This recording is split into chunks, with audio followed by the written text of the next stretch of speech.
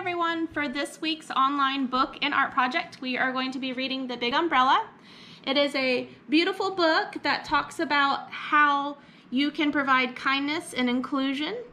So while we're reading it, I want you to take a good look at the pictures and see how this umbrella is able to provide space and safety for all the people in the book, animals included.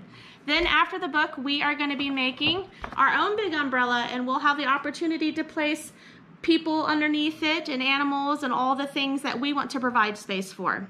Hope you guys enjoy. This week we're going to be reading The Big Umbrella by Amy June Bates, co-written with Juniper Bates. It is a mother and daughter writing team. Okay, let's see. The Big Umbrella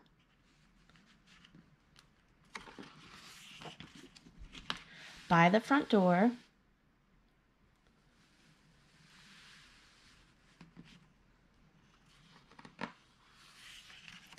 There is an umbrella.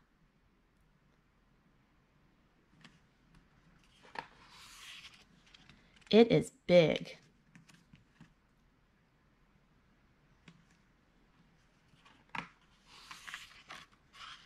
It is a big, friendly umbrella.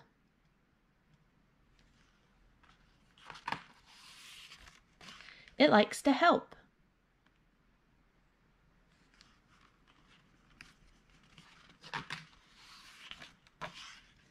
It likes to spread its arms wide.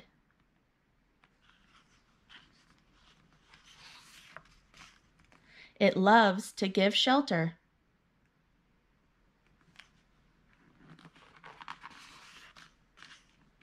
It loves to gather people in.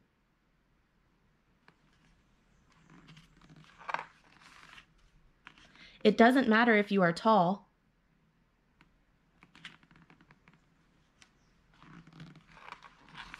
Or hairy.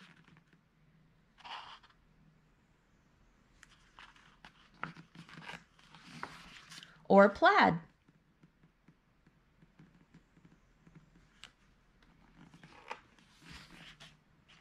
It doesn't matter how many legs you have.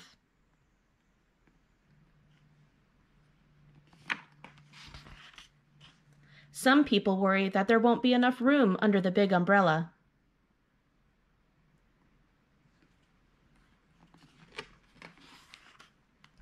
But the amazing thing is, there is.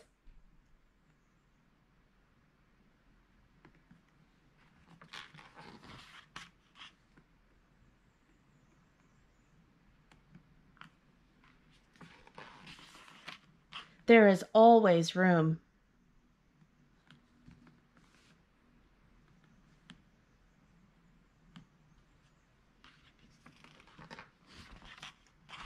The end.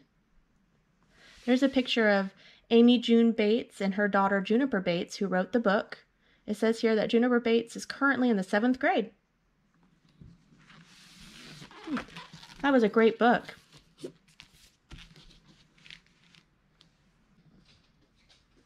Okay, let's start our art project to go along with the big umbrella. As you can see here, I made a demo for us. We are going to create our own big umbrellas and stick some people or animals or whatever you want below it and do some watercolor painting. We'll be using scissors. So let's see what's in our art bag for this week. All right, we have paper plate um, with some lines on it. This kind of looks like an umbrella right here.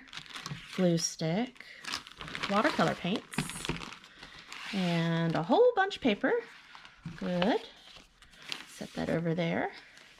And we have some tracers. That's how we got the boot shape that went underneath the umbrella. There's a couple of sizes of those. Okay, got some more paper scraps. Scissors, mine probably look a little bit bigger than yours.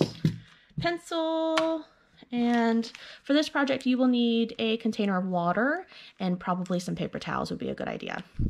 All right, so let's begin. So the first thing you're going to do is you're going to do your watercolor painting. You should have a white piece of paper in your bag. You have your watercolor palette and container of water and a napkin because I don't know about you, but I get a little messy.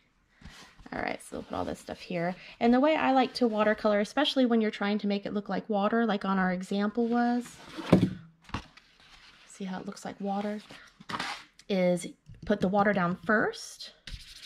You can do a bunch, and your, your white paper might look a little bit different than mine. It might be bigger or smaller. And then you're going to activate your watercolor paints by putting water in it. And then you can just drop that watercolor paint right there on the water and I'll make it have a really fluid, watery look like that. Okay, and you're going to do that all over your paper. Try to fill it up with what might look like rain and water. Then we're going to lay that aside to dry. And you're going to take your paper plate, and I've already started to cut mine, but you're going to cut your paper plate and you can either stay on the black lines or go off the black lines. It won't matter because we're going to flip this paper plate over whoop, and use the back end of it. And you can tell the back from the front because the back is matte, so it's not as shiny as the front. The front is super shiny in the light. And then you're going to take your watercolor again and you can color your umbrella. I did red just because that was the color of the big umbrella in the book, but you can pick any color you want. So we'll add water, activate the paint, and just drop some colors in there. And you'll want to paint your whole plate. Okay. So after your plate and your watercolor paper dry, you will take your glue stick and you will rub it all around the edges. You want to get a lot of paint, a lot of, not paint, a lot of glue on there because we really want it to stick. And then you will turn that upside down and you will glue it to your piece of paper. So let's look at that example again. Scooch that out of the way there. So we're going to glue it down. And then um, after we glue it down, we're going to make these little boots. These are like little rain boots. And I chose to do four pairs of rain boots because I have four people in my family. But the beautiful part about that book we just read is that we can put anybody we want under the umbrella. There's always room for all under the umbrella. So you can make as many pairs of boots that you want. In your bag, you have tracers. Move that out of the way um, some big ones, some little ones, some medium ones. And what I did is I just traced it onto a piece of paper for one boot and then flipped it over and traced it again for the other for the other boot for the other side.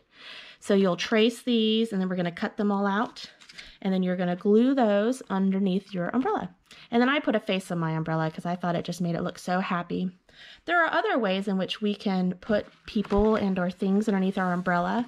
So if I wanted to put some animals under my umbrella, I could, but a way that I could include those animals under my umbrella could also be with some words.